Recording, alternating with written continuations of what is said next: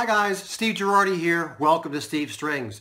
Today I'm going to talk to you and show you how to make bottleneck slides.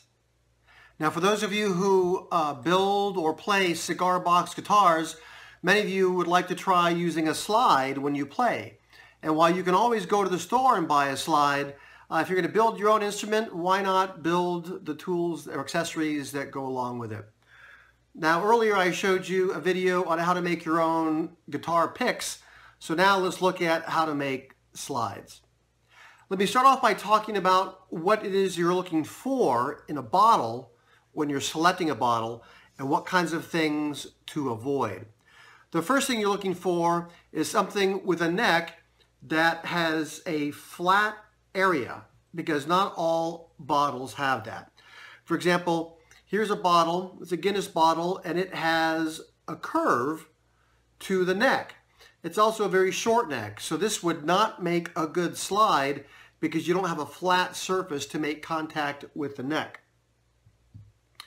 Uh, here is another bottle. This is a Shiner. For those of you who don't know, down here in Texas, Shiner is a local brewery.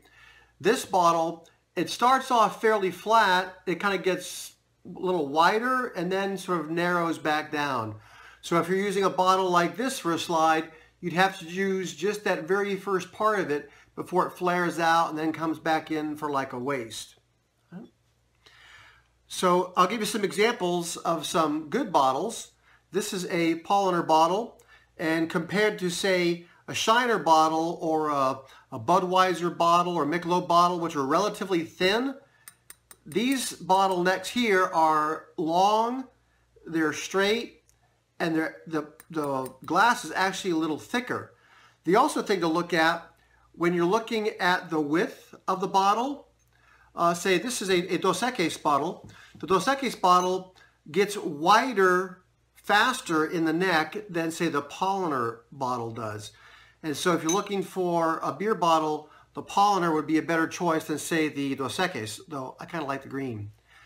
So again, the Dos Equis bottle is also, you can see, a fairly thin glass, uh, say compared to, um, say, a, a wine bottle neck, which is relatively thin. And for most folks, they prefer the tone you get from the, the thicker glass. So again, we're looking for a straight neck, such as with this Paulaner bottle, relatively long neck. Um, I also came across this uh, soft drink bottle it's Sangria Señorial, which you can pick up at the HEB down here in Texas. As you can see, it also has a fairly straight neck before it starts to flare out. So, uh, in fact, this one here, uh, I have one of these made right here. So this neck came from a Sangria Señorial bottle. And this is one of my, my favorite slides, actually. So this is a good example of what you're looking for, say, as opposed to a Dos Equis, which is thinner glass, um, and it gets wide fairly quickly. If you're looking at wine bottles, the ideal kind of wine bottle you're looking for is one with a long straight neck. This one is perfect for making slides. And when you make these, you basically cut it off and you can either cut it off uh, here first so there's no lip on it and then cut it off here or you can leave that on. Uh, a less ideal bottle would be something like a champagne bottle. Now the nice thing about champagne bottles is they are really thick. That's a good thing.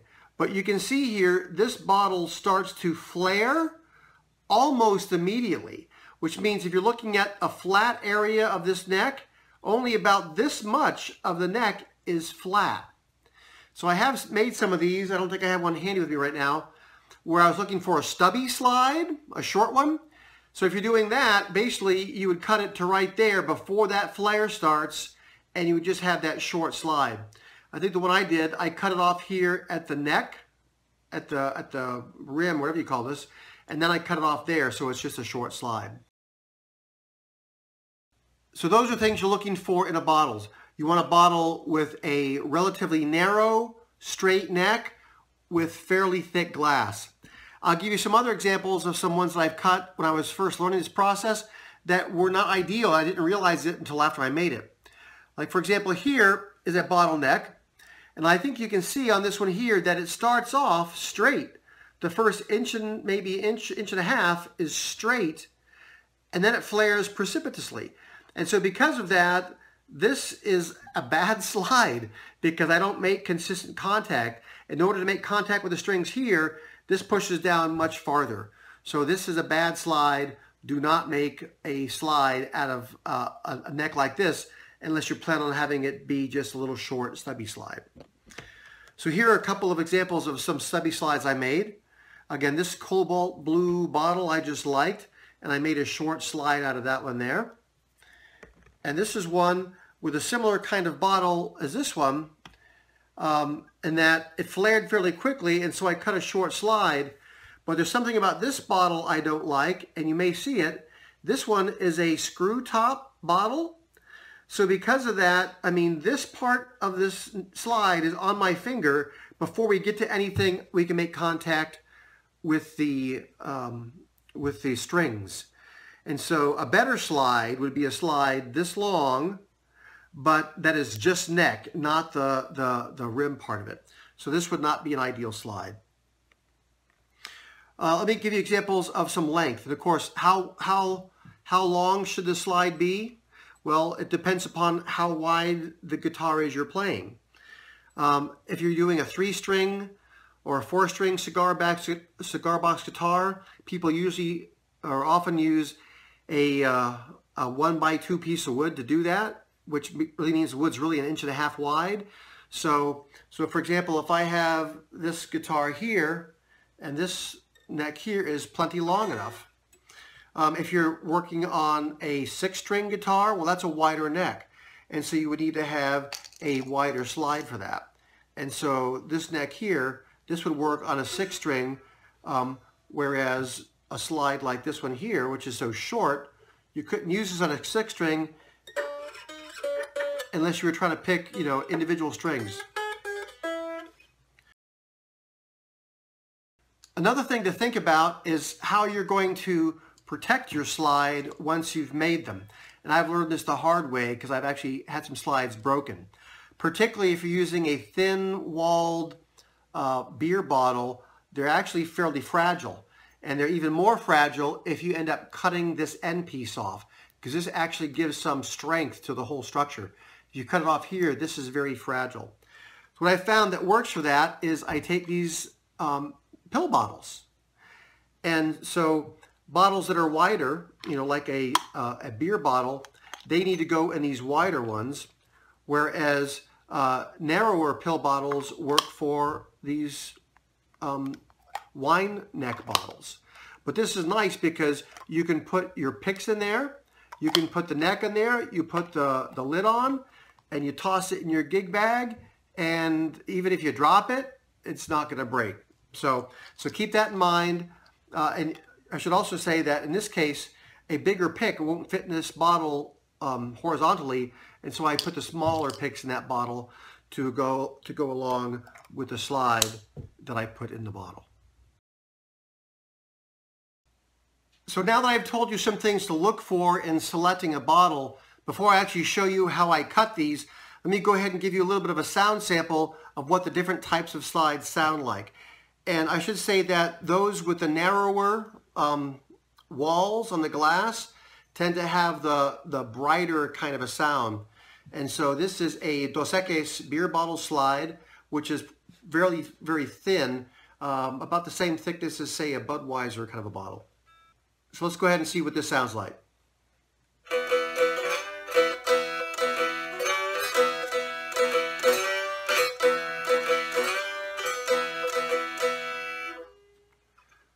Let's go for a thicker walled one. This is a beer bottle, and this is a uh, shock top bottle. It's uh, not quite as narrow in the mouth, but the, the, the glass is actually a little thicker.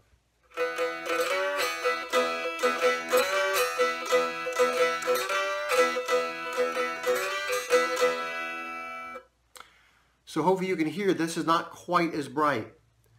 This next bottle neck I'll use is this, again, thicker glass. And again, you can compare that to the beer bottle. It's much thicker glass. And this was the Sangria Señorial uh, soft drink bottle.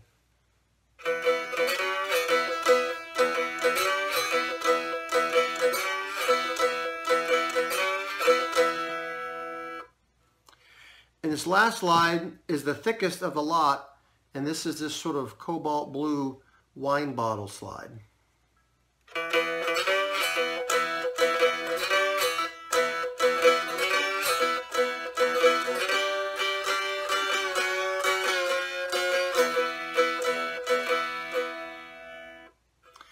So one last time, the thinnest compared to the thickest.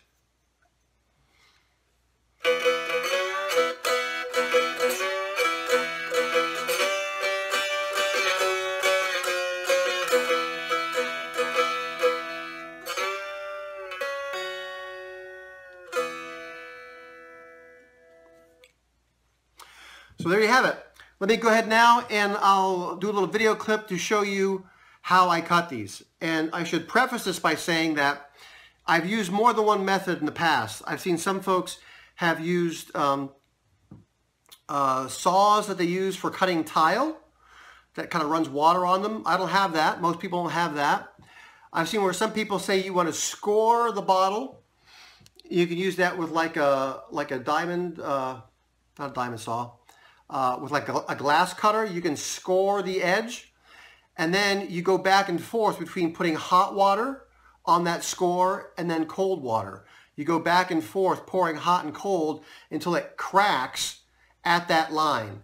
I've tried that and I've made some from that and in my experience to get one good clean break would take me like four or five bottles that would get a linear cut going up the neck which would ruin it. I have to throw it out or they would get a jagged edge.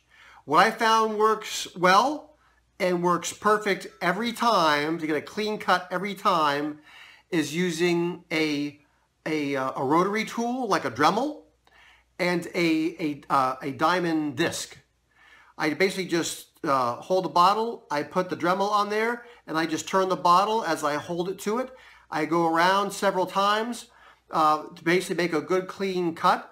You don't have to cut all the way through, once you make the cut, then you just sort of slow down how quickly you turn the bottle, add a little more pressure on the disc, which makes it heat up kind of in one spot more than the other. Then that heat goes right along that line and it pops off clean.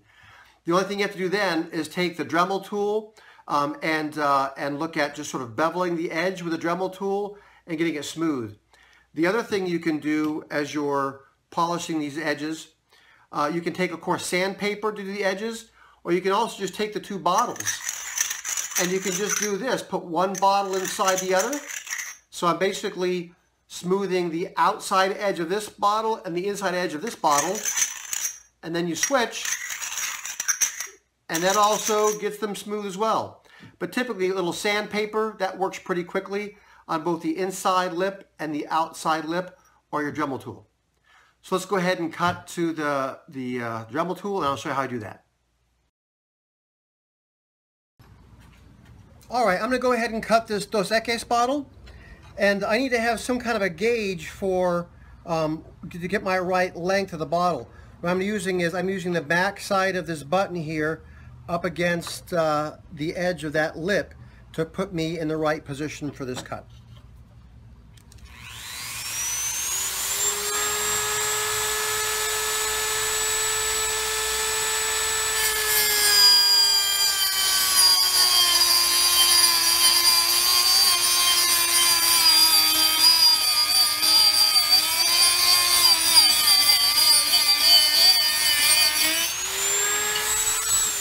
There you go. In real time. It took just that fast. Again, you can see the Dos Equis bottles are fairly thin. All I have to do now is just sort of smooth those edges up, and I've got a slide. Alrighty, I'm going to go ahead and uh, cut the top off this one uh, bottle, and then cut it again shorter. Let's go ahead and make this do its thing.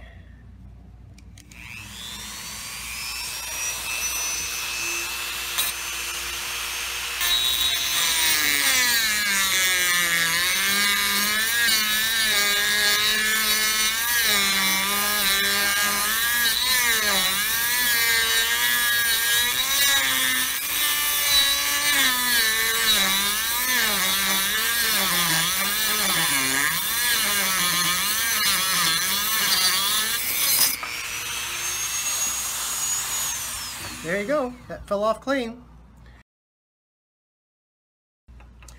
All right, now that I've cut this top off, I'm going to go ahead and uh, smooth these edges a bit so I can have my thumb on there to uh, cut the neck the rest of the way off.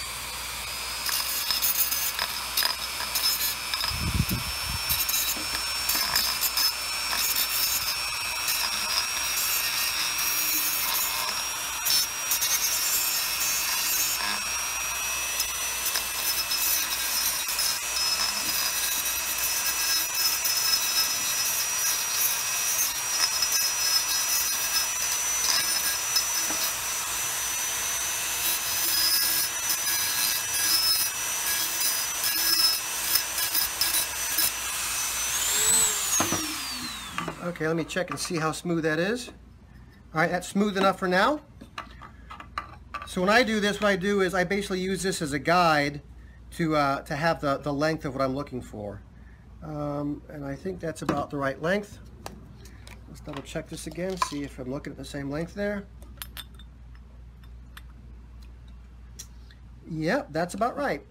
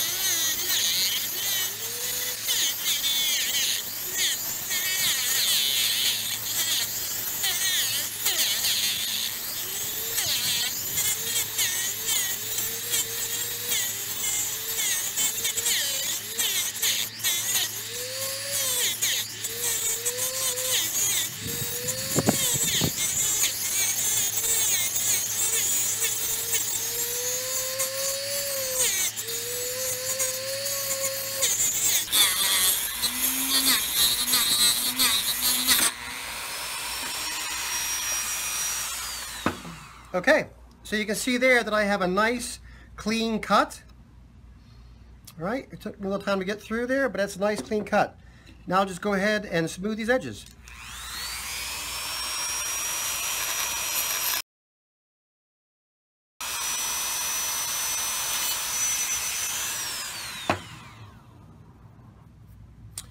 Okay, so there we have it. I can do a little more polishing on that, but basically I've got a decent slide there. Now this one here doesn't fit quite as snugly than as it does with the rim here. Because here's the rim, and you can see it holds on there quite snugly. Because I cut that little lip off, right, it's, it's more inclined to kind of drop off. So that's just something to keep in mind. One of the things you can do to help these stick better, you can put a little bit of um, moleskin in there. Put it inside, and that way you can kind of grip your finger a little better. But there you go. It's a bottleneck slide, plenty wide enough to use on a cigar box guitar.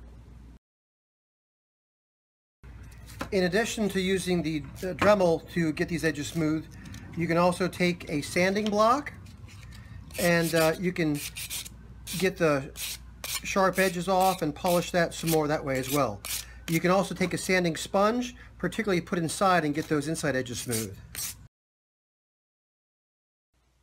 Now that you've seen how I use a Dremel tool to cut these, you'll see that these are really pretty easy to make. I mean, lots of folks have rotary tools in their house. And if not, I know I can go down to, um, say, uh, Harbor Freight, or you can go online and get a rotary tool for, you know, under $20 certainly. And, uh, and with that, and you get some of those diamond discs, you can cut bottle after bottle after bottle with this and get a clean cut every time. So I hope this was useful for you. Hopefully you've seen that making your own bottleneck slides to go along with your cigar box guitars is a really easy chore. I hope this was helpful for you. Thanks for watching.